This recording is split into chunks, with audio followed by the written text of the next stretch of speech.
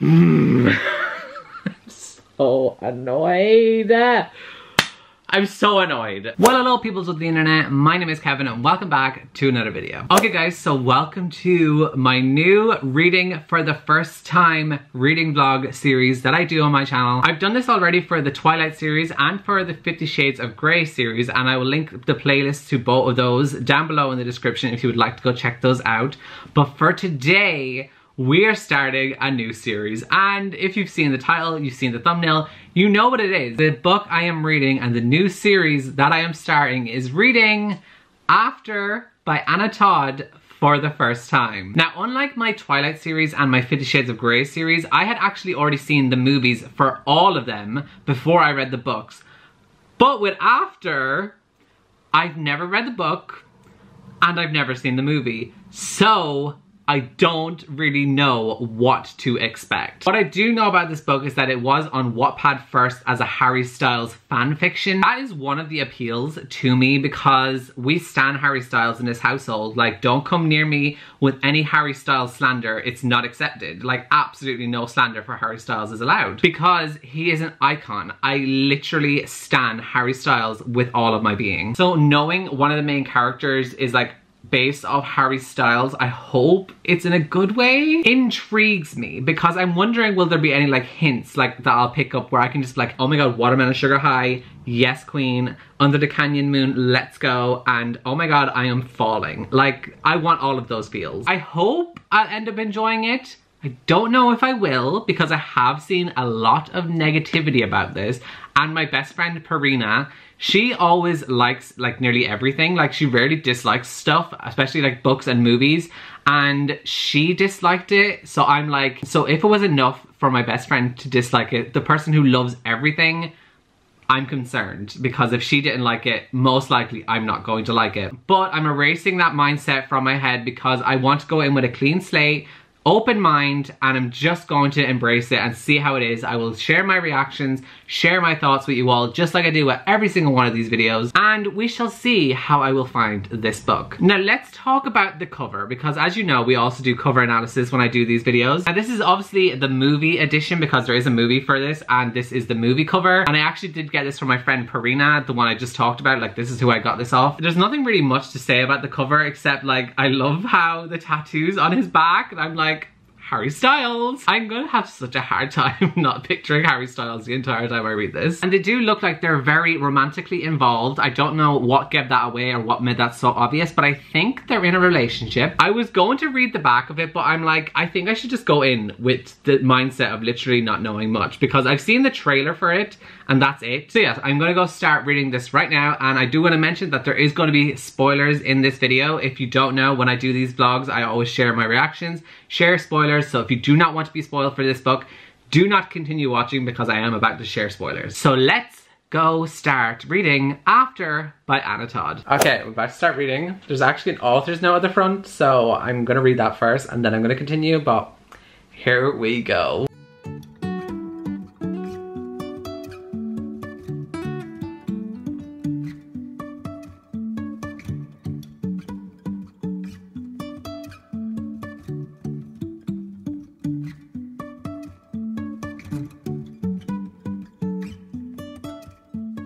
Okay, so I just read the prologue and there's a part in here that I was just like, me. So it's kind of like the main character is speaking to you like after everything has happened, uh, hence the word after. So one of the things she said that I'm like, me, is the fact, she goes, I would love to give a straight answer to that, but I can't. I'm like, honey, either can I because I'm very gay. And then also, I'm not gonna lie, I kind of love how this was worded. So the very last line of the prologue says, all that I'm certain of is that my life and heart will never be the same, not after Hardin crashed into them. I'm not gonna lie, I absolutely love how she just tied in the name of the book into the last sentence of the prologue genius. Okay, so I'm just up to chapter 3 and page 11 and Tessa, which is the main character, has basically just moved into her college dorm in Washington, uh, what was the name of the college? Washington something? Washington Central University is where she's gone.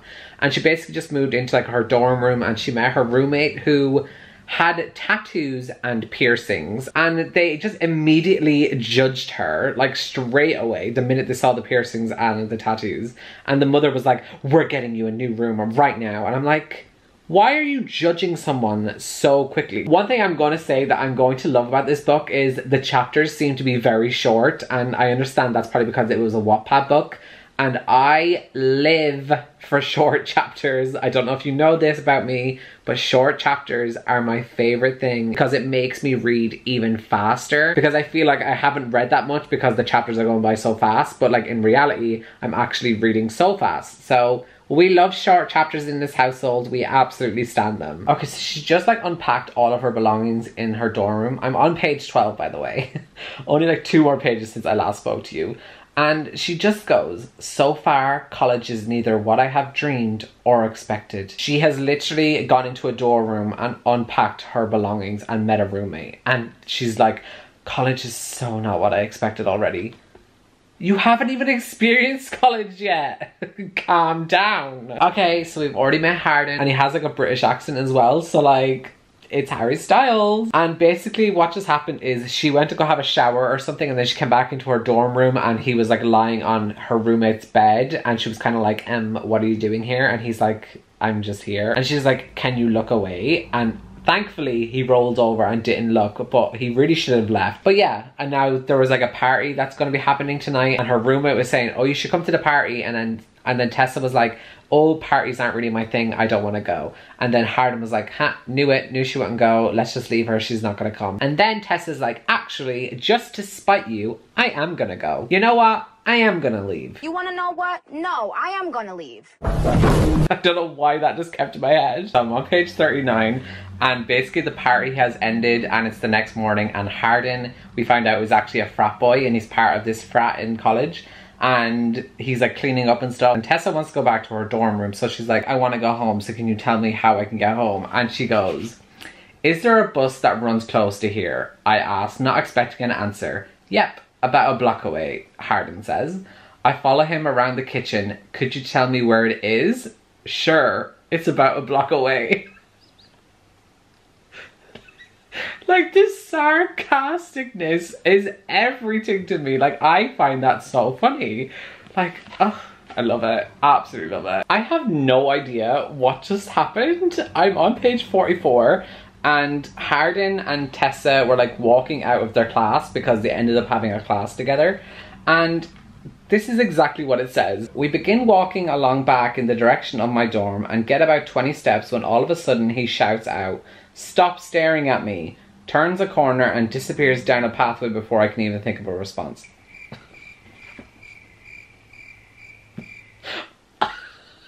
what? I'm so confused. Why did he just casually just scream at her, stop staring at me and then just leave?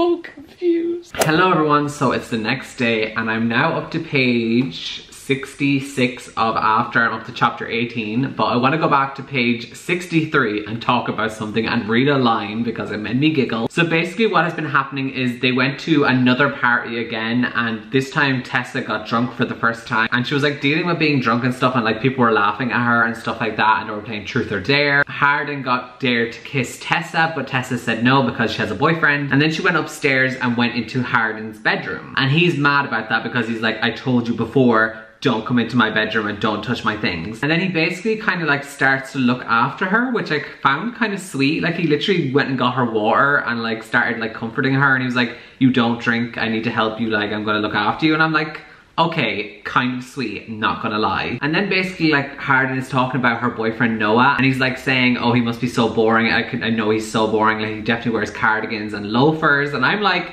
that's funny that he's saying that you wear cardigans when we all know Harry Style and the cardigan. Like, you know, that ironicness. I don't even think that was a thing when this book was written, but like now, it's so ironic. So because Tessa keeps saying, oh, he's not boring, you don't know him and all this kind of stuff, Hardin then says, well, he has been dating you for two years and hasn't fucked you yet. So I would say he is a square.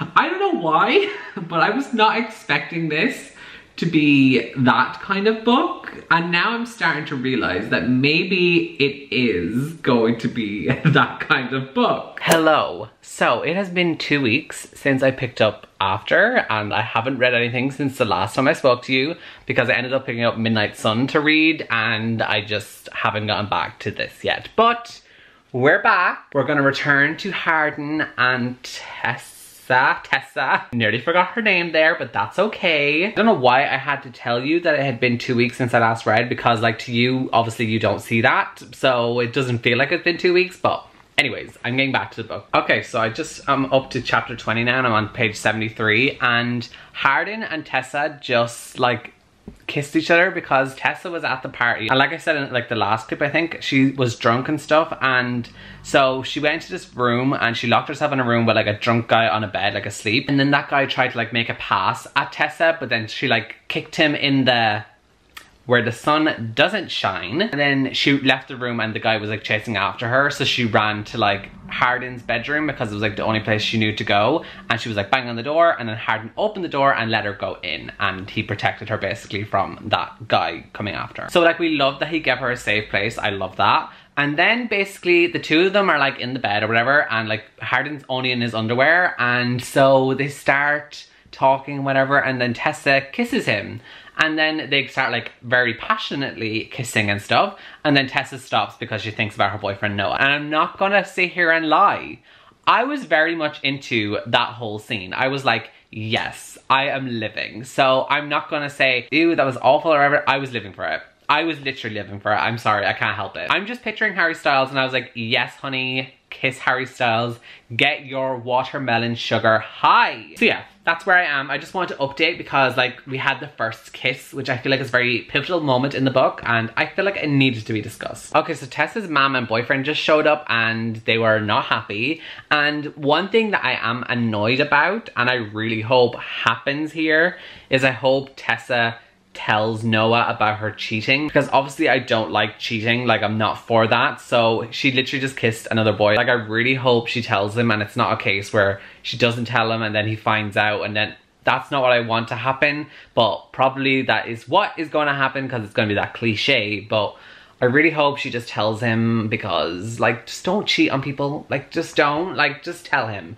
Tell him communicate just let it be known that it happened and don't hide it from him but we shall see if she will tell him. My guess is she's not going to. Okay everyone, so it's another few days since I last vlogged, but I'm up to page 131 and what has happened so far is She's still cheating on her boyfriend, which I'm really, really, really not liking. I just don't like reading about people that are cheating. Like, I just, I can't stand it. I just can't. But aside from that, what has happened is Tessa and Hardin went to this like lake or river or something and they went swimming and stuff and then got out of there and he ended up using his fingers not gonna elaborate. You can probably put two and two together if you read the book as well, you know what I'm talking about. And then Tessa was like saying how she was gonna go break up with her boyfriend, but then Hardin was like, I don't date, so why do you have this idea that we're gonna become a thing? Don't break up with him. And now Tessa and Hardin aren't talking to each other again. Okay, I'm up to page 148, and basically Hardin just got like really drunk and like smashed up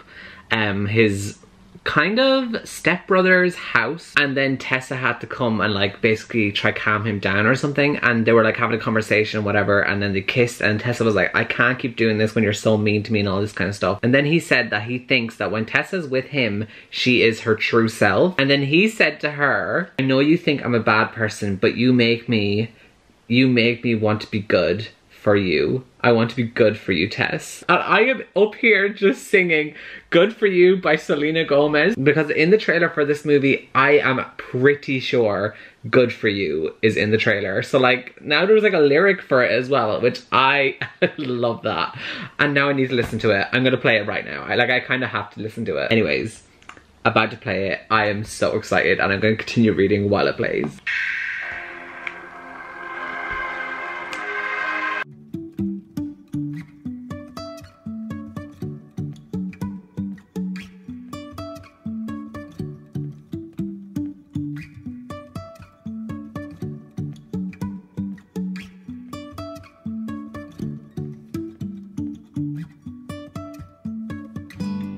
Okay guys, so it's much later, as you can tell, and I'm now up to page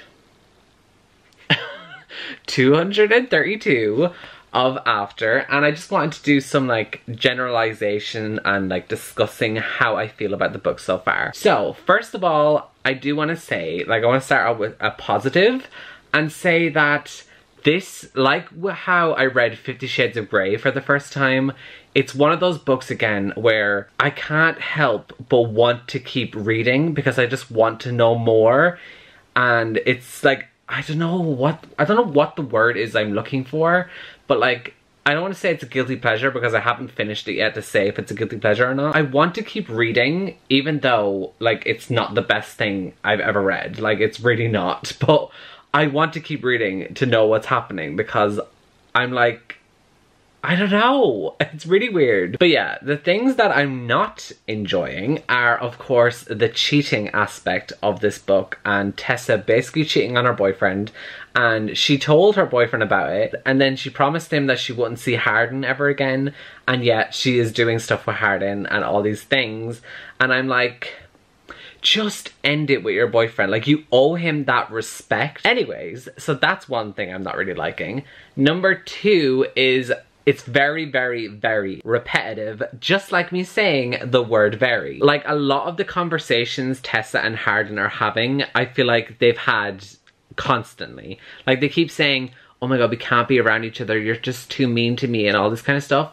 And then they're like, oh no, we can be friends. And then like two seconds later, they're angry again and like, we can't be friends. And then literally two seconds later, oh my god, we should just be friends. Like, I'm like, stop having the same conversations. like, it's so annoying. And the thing is as well, Tessa literally says, like in her dialogue, like her inner monologue while she's like speaking, it's like, oh, we're having the same conversations again. And I'm like, I'm reading you have the same conversations again. It's very frustrating. And then thirdly, the other thing that's bothering me is I don't like how Hardin is like an emotional abuser because there are times in here where he basically like guilt trips Tessa into doing things, which I really don't like. For instance, there's this part where they were watching this movie in her dorm room and he's on her bed and she's on her roommate's bed and he's like, oh my god, Tessa, you should sleep with me. Like, I just sleep better when you're beside me. She says, no, I can't do that. I have a boyfriend. She's trying to be a good person, but I'm like, honey, you've cheated already by now. Like, like, there's no way coming back from this. Like, why are you trying? Like, just end your relationship with your boyfriend. but anyways, what I was saying before I just went on that little bit of a rant, what I hate is, like, he asked her to go sleep in the bed with him, and she said no. And then basically he goes, please sleep in the bed with me. I sleep so much better than you do. And then, like, he starts making her feel guilty, because then she's like, oh, do I? And he's like, yeah, you make me feel better.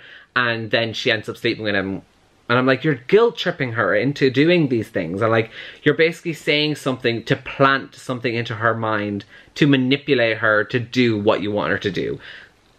He's a manipulator, emotional abuser.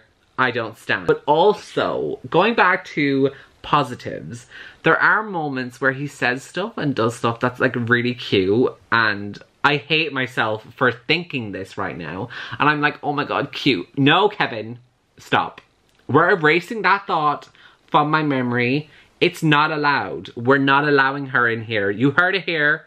We're not allowing it. When you hear me say it next time, call me out. We're not allowing it. Okay guys, so it's next day and as you can see, I am vlogging outside. Don't usually do that because it can be quite chaotic, but like this vlog and this book is already chaotic as it is, so like kind of fits the vibe. But like there's a neighbor cutting their hedge with like a trimmers. There is dogs barking. There's cars going by on the road. It's windy. There's so many things going on, so it's probably gonna get too loud and I probably won't vlog much outside. But I'm sitting in like my sister's like egg type chair which she has like on her veranda of her house which if you don't know my sister is like my neighbor. But anyways i'm up to page 252 and something just happened and like i did not expect this to go into so much detail like with explicit content. Basically hardin and tessa were doing something up in a bedroom because tessa went to hardin's dad's house and they had dinner and stuff and then they went up to a room and they did some stuff. Basically what i would say is that hardin got a taste of something. And then Karen, which is like Hardin's new like stepmom kind of thing, came up to the room to like say that she made dessert and to come down to have dessert. And basically they say that they're gonna go downstairs to have dessert, but then Hardin goes, I've already had my dessert. Yes, he did. Okay, so page 261, they are in bed because it's like later that night and they ended up staying the night. And can you not bark? I'm trying to talk about intimate moment here between Hardin and Tessa. Thank you. So they're in bed and stuff and Hardin's like, I can't get enough of you, Tess. And then she's like, I want to do something for you because she wants to make him feel how she's made him. no, she wants to make him feel how he has made her feel. That was a mouthful to say, which is also relevant saying a mouthful because it's exactly what Tessa wants.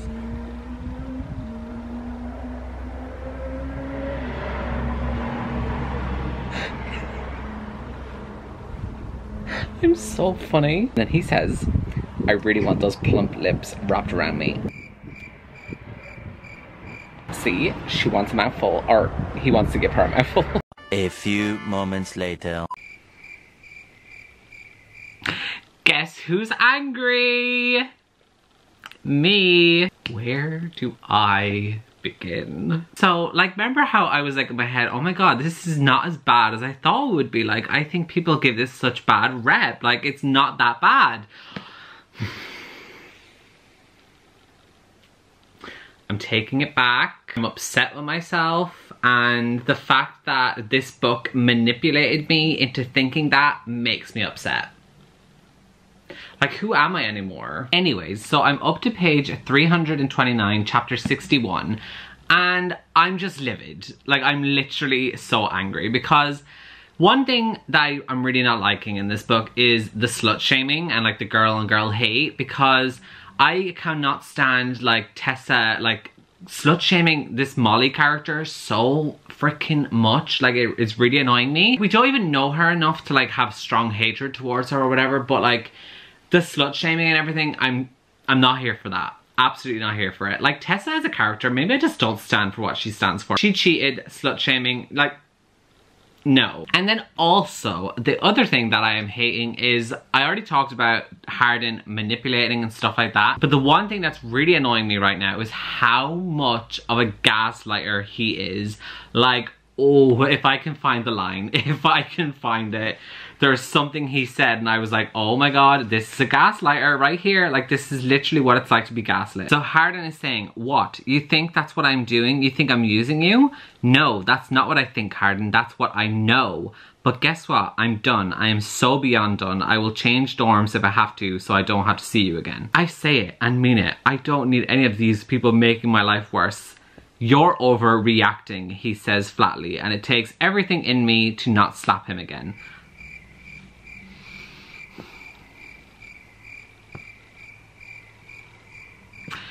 It's the over, like, it's that, oh, you're overreacting. There's another part again where it's just like, it gets me even more annoyed.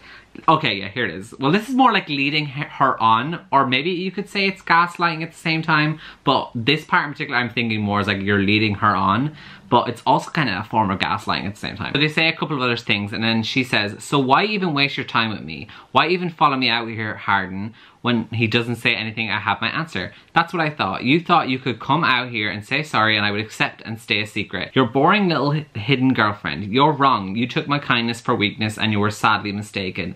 Girlfriend? Question mark. You thought you were my girlfriend? He howls. The pain in my chest is magnified by a thousand and I can barely stand. No, dot dot. I I start to say, I don't know what to say. You did, didn't you? Question mark. He says, laughing. I'm so annoyed. I'm so annoyed. I'm just so annoyed. Like, he literally led her on so, so much. And then he just, like, has the audacity to, like, gaslight her and, like, make her think, oh my god, you thought this? You're such a freak. Why would you think that? Like, mm, I can't stand it. Hmm. it's fine it is fine. But like I, do you know what really bothers me? Do you know what really, really, really gets me? Is the fact that I was like in my head thinking, oh my god, this book is literally nowhere near as bad as like the rep it has. Like I was literally sitting here like, oh my god, he's not even like that bad. Like obviously Hardin's not the best person out there. Like he's clearly manipulating her and stuff like that. But like comparing him to Christian Grey, I was like, oh my god, no. He like he's not even that bad. Like Christian Grey was way worse. But Hardin was just manipulating me and now I feel like a dumb bitch.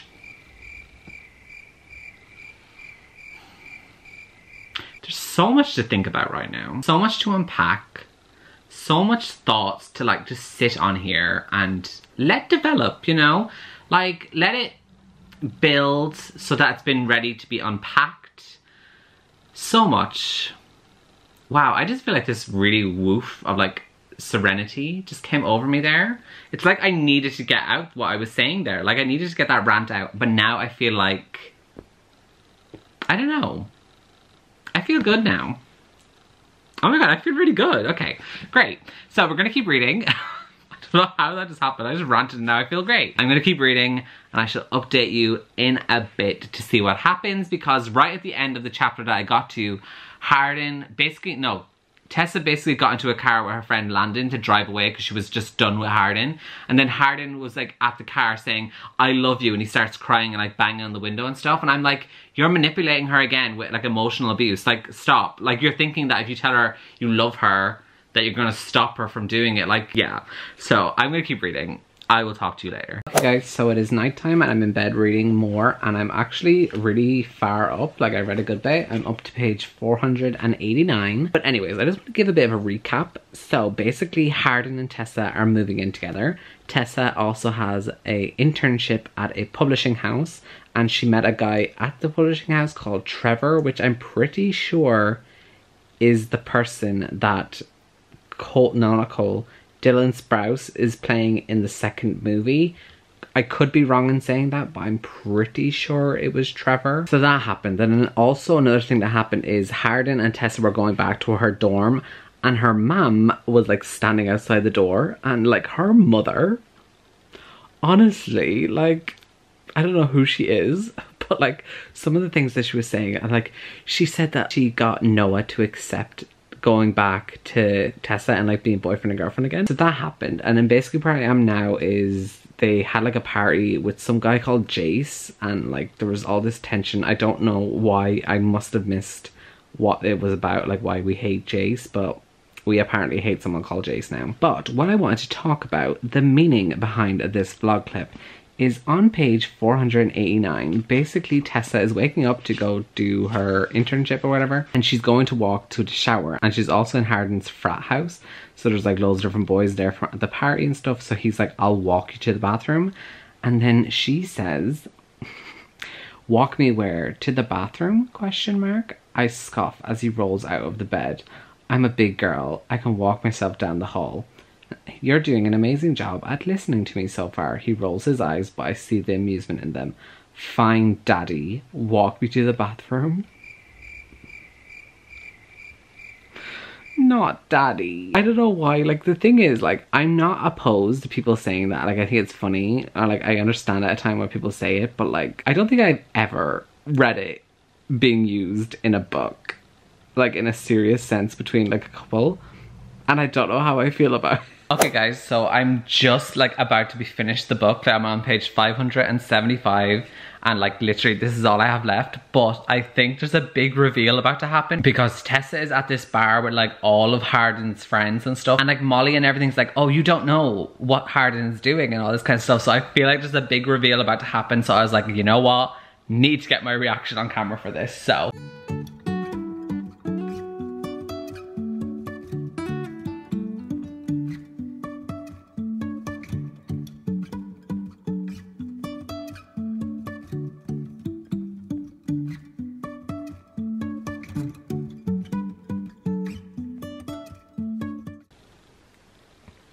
No, absolutely not. No, no, just no. no, the reveal just happened. I know. I am trying to see if I'm angry or if I'm disgusted or how I am feeling right now.